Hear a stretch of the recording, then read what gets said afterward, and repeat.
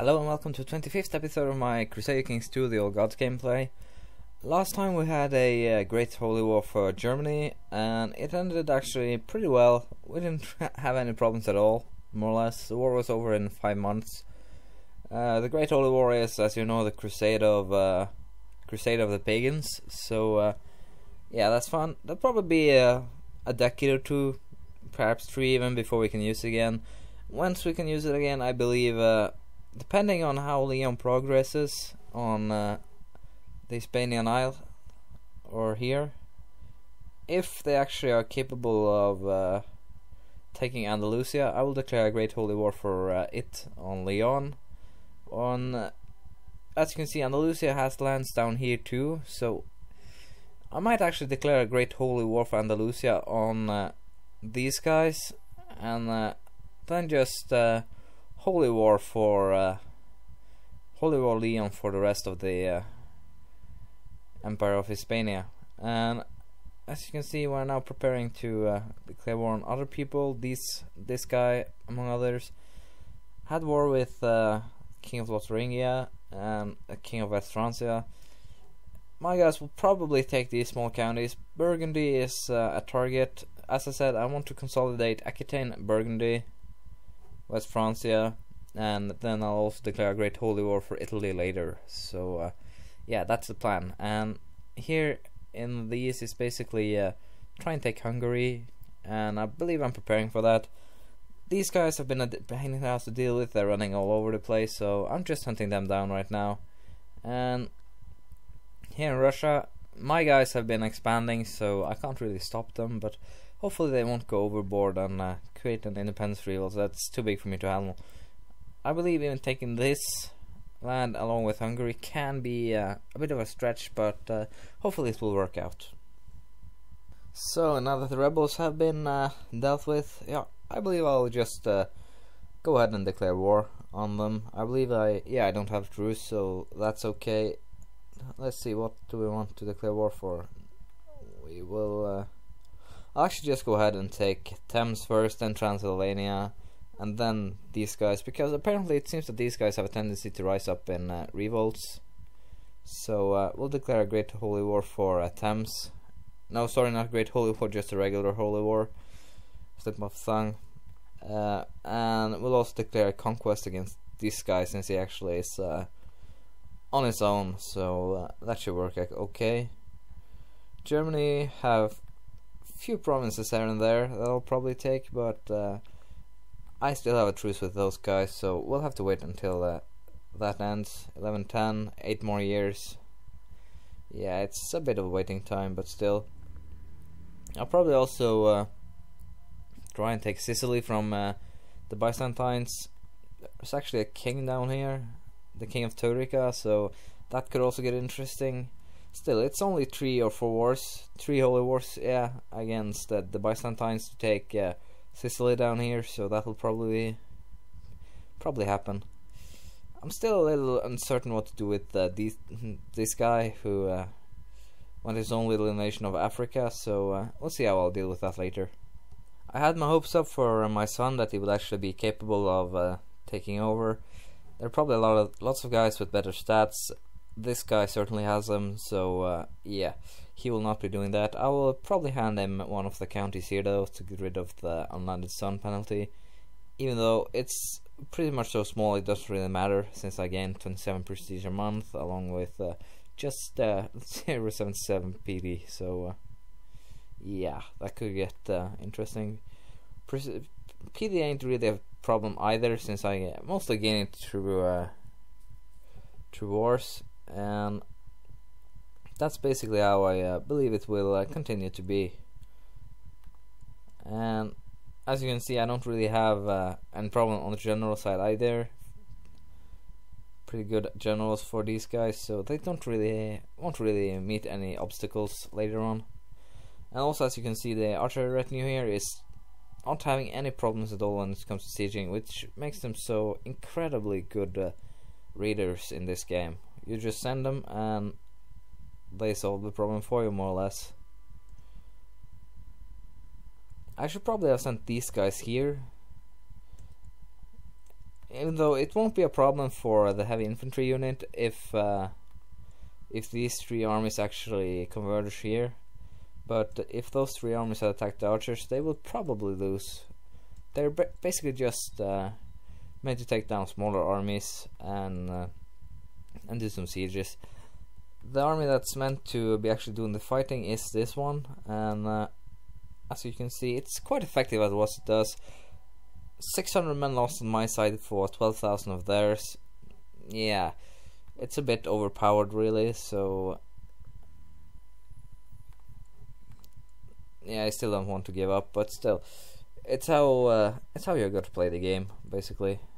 And still, as I said, when it comes to raiding, these guys are the best thing ever, especially when you have them in large numbers. You can just you can just siege it like that, and also Europeans doesn't have a thousand or two thousand men behind the force. They just have uh, five, six, eight hundred mostly. So an army of 10,000 can do very well in England and Ireland when it comes to raiding. Also, you can take them down to uh, Venice or Amalfi. Thrace and uh, Constantinople are also good places to raid. You don't even have to siege, and they hold 50 each, I believe. So, can't really complain there. And with that, this war against the Seljuks is over. It's not really a challenge anymore. So, uh, that's kind of boring. But still, it's how you got to play the game, and uh, yeah, that's basically it. As I want to say, show you possible loot 71 without sieging, max loot 187. So I'm actually tempted to uh, take a boat down here and uh, try and siege it just to see how much I'll gain. I'll probably do it too, just for uh, fun. So these guys, I'll send them here. Send them to raid the Byzantine uh, capital. I'll need some ships to store the gold should be more than enough. So I'll just uh, go ahead and get my troops in position and then I'll get back to you. Just got my troops in position, so uh, let's see how well they actually can do against uh, highly fortified pro provinces like the Thracian ones. As you can see, they don't really have any problems, at least against uh, Thrace, but uh, could get interesting to see how it works in Constantinople itself. 127 from uh, that city, and yeah, I forgot about the other war of mine. Probably should pay a little bit more attention here. Still, can't really say I'm worried. I basically have to kill his army, then it's won. Still, a bitch that Francia joined, so uh, hopefully they won't uh, bother me anymore while I do this. Uh, let's see. 127 and 85, so we basically got 200 and uh, something. 67 and 127 so nearly 400 and boom. As you can see I can by just sieging these three I can get tons of money without even uh, without even trying more or less. So yeah. This one will be uh, interesting enough so uh, yeah that guy gave up I'll simply wait, to hand out the counties, and wait till uh, till the siege timer is down. Then we'll try to siege and see how it goes. And uh, yeah, that's that's that basically. We're just about now ready to uh, start sieging uh, Constantinople, and as you can see, I nearly didn't lo lose any man doing that. So we'll just uh, we'll just continue. So you see, you gain a lot of money, and all of this is going to the boat, so I actually don't have to do any maths myself. Once these guys actually want you to uh, have them abdicate titles, I just uh, I just say no. I will not have a part of it. If they want to, uh, at least if my realm is stable, if it is a guy that is dangerous, then uh, I will perhaps join. But mostly I don't join because it really isn't worth it in most cases to get uh, bother up in uh, your vassal's business. So uh, let's now see how much actually made from that. As you can see, sieging Constantinople alone gave me 910 gold. So yeah, and probably lost about 50 at most for uh, retinue uh, retinue boost afterwards. So Can't really complain about that. Gold, prestige. Yeah, if you use rating like this, prestige and gold are the least of your concerns. So uh, I would advise everyone who can to create archer retinues simply for rating. And if you have the mercenaries that, uh, if you actually can rely on mercenaries, you should probably have uh, much of your retinue into uh, into archer guys. But as of now, I will. Uh, I have two more or less siege retinues: the defense retinue and the archer retinue. I'll create one more housecarl retinue simply uh, to protect myself from uh, from the horde once it arrives. So uh, yeah, that's that. And uh, I don't know what else to do really. But I won't create it right now. I believe I will create a, uh, as I said, a uh, a housecarl retinue. But uh, I have to think about it a bit. A little bit. I only have, uh, yeah. What do I actually have of mercenaries? Let's see mercenaries they're all hired by my guys it seems so yeah no these guys are hired by something else so I can't really uh, rely on mercenaries because there are only 10 units and they don't have that many men I'm pretty sure that these this guy actually has as many men as all the units combined as you can see I have my own pretty good mercenaries on my own, so to speak. So I'm not really worried. I can raise uh, how many men can I raise? 362,000 should be more than enough to take down the Doomstack, and I will also create another uh, housecarl retinue, or perhaps even a defense retinue, simply because uh, they are decent at fighting, but they aren't great.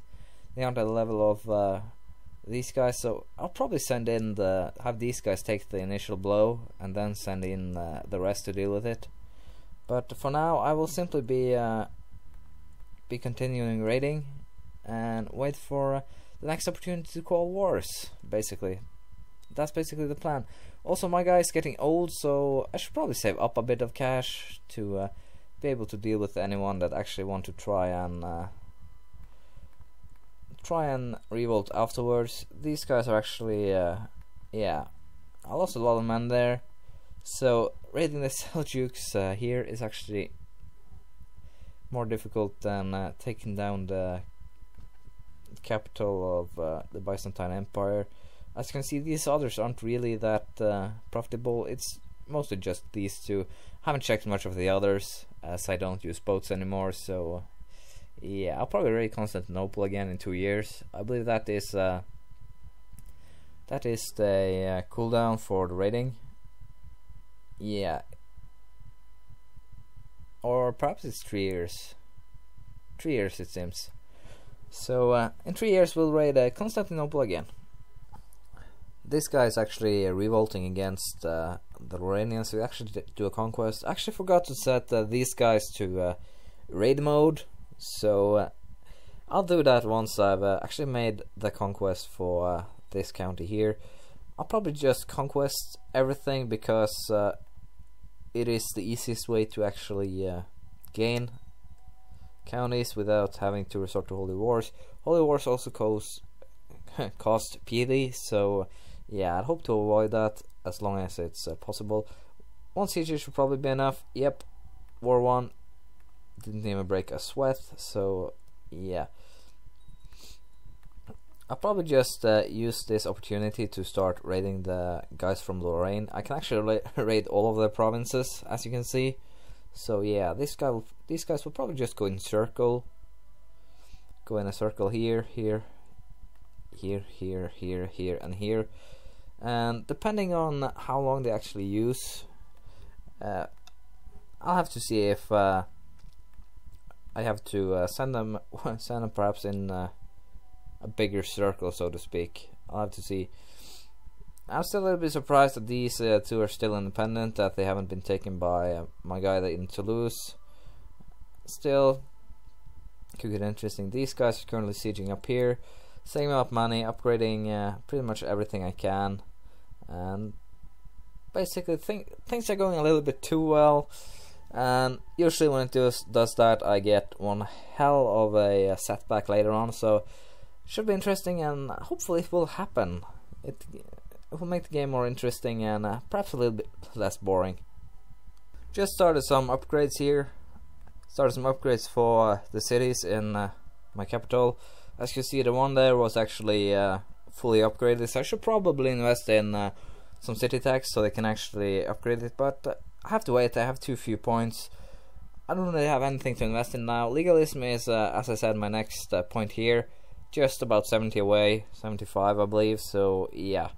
Also started construction of a new city, so I'm I'm poor right now, along with uh, a university here I believe. Yeah. So just spent 2,000 uh, 2,000 gold on that, but uh, as I said, I will upgrade cities in all of these and build universities. Also build uh, two remaining holdings up here and uh, yeah, that's basically the plan. To achieve this, I will be raiding a lot, as you perhaps know. And uh, still, I don't really think I should have any problems with uh, achieving it. And uh, I just have to check when it's not next time. 1106 and this guy. Yeah, okay, it's probably around the same. So in a year or two, I'll probably declare another holy war on these guys just get them some more down in size and Leon has apparently gotten themselves into a uh, claim war I believe yep along with uh, along with uh, attacking the Italians in the Burgundian the Ger war so yeah could get interesting to see how that turns out perhaps I get even more targets to raid who knows I'll probably visit Germany and raid them they're so small that perhaps if I raid them, they will uh, break up into smaller pieces. Finally found another key while raiding, and let's see if the key will fit.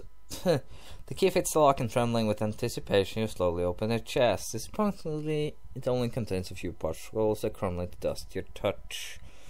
Yeah, chest didn't work out.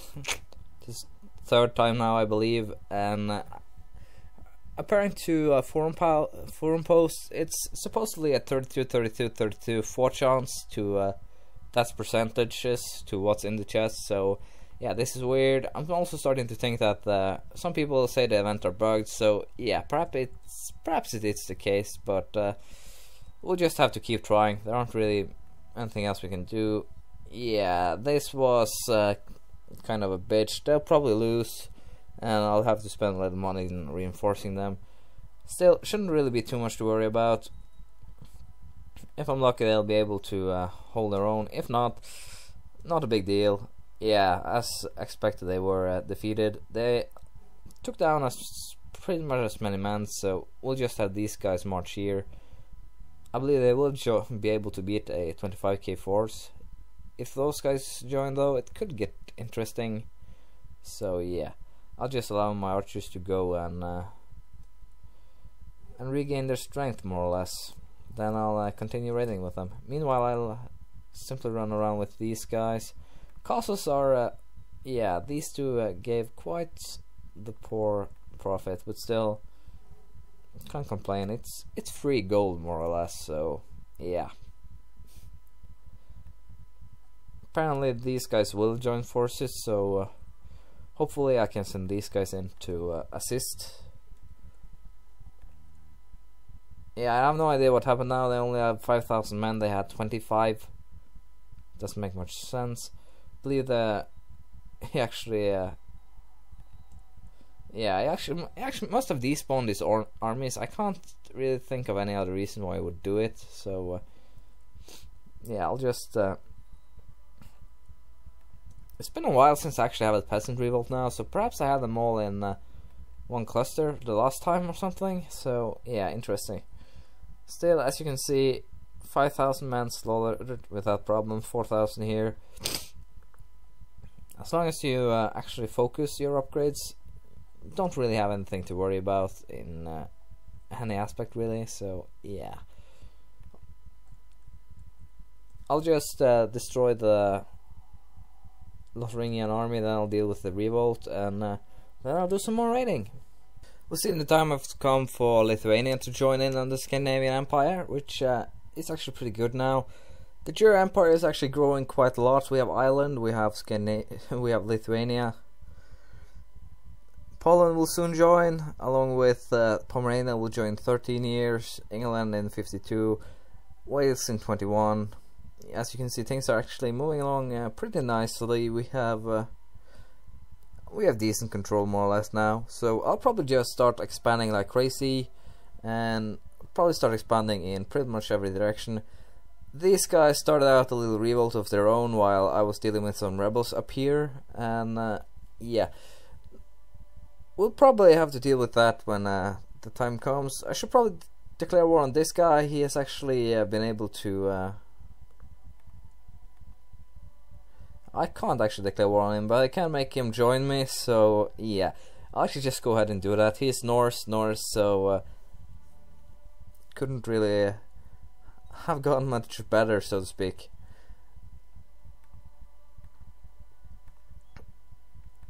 Revolt is over, nice. Also, I got some technology points. I said, pop a point in legalism. Probably uh, do a point in each of these, simply for uh, for the research sake, so to speak. And I'll just wait for that guy to join us. Nice. Now our realm is uh, realm is growing quite nicely. They uh, they have taken some more land in uh, over here in Russia on their own. Can't really can't really actually be mad at them for that because I've given the opportunity and they've grabbed it. So uh, yeah, this will probably be it for this episode. Next time I will uh, I will do my best to actually consolidate, get this done. Didn't really get too much work done, got more hung up on uh, raiding and upgrading holdings.